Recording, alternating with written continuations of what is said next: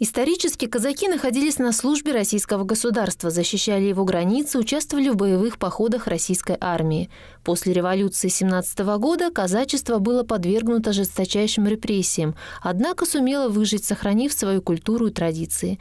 Казачья удаль в нашем районе проводится уже более пяти лет. В этом году состязания приурочили к 70-летию Победы. Хочется напомнить о том, что не должны мы забывать никогда то, что для нас сделали наши деды, прадеды, отцы, матери.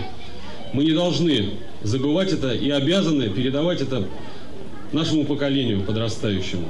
Атмосфера праздника, любимые всеми народные песни, угощения, лихой задор участников состязаний – все это стало незабываемым для тех, кто побывал в этот день на конной базе в Горках.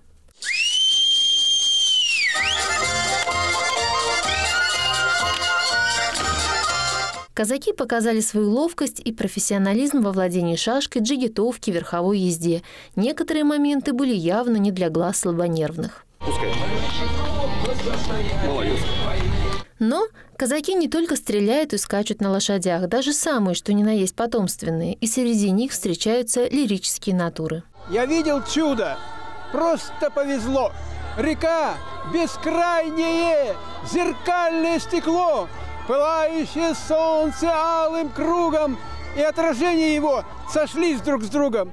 Их только низкий берег разделял. Все длилось пять минут, а я стоял. Мы живые, мы стараемся сохранить традиции наших дедов, передать их своим детям, что мы не ряженые, мы никакое не неоказачество, мы просто родовые кровные. И стараемся по крови передать свои традиции, обычаи и обряды. Ярким украшением праздника стали детские фольклорные коллективы, исполнившие фронтовые и казачьи песни.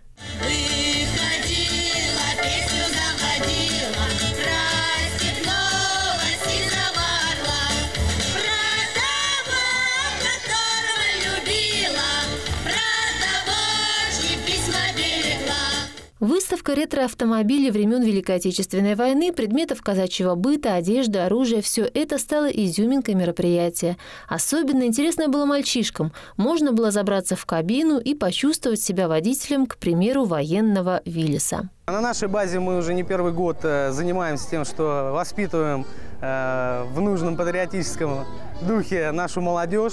Э, нами создана конная секция бесплатная для детей, где они занимаются верхом, изучают быт казачества, в том числе его историю. Тот, кто просто приехал посмотреть, остался очень доволен увиденным.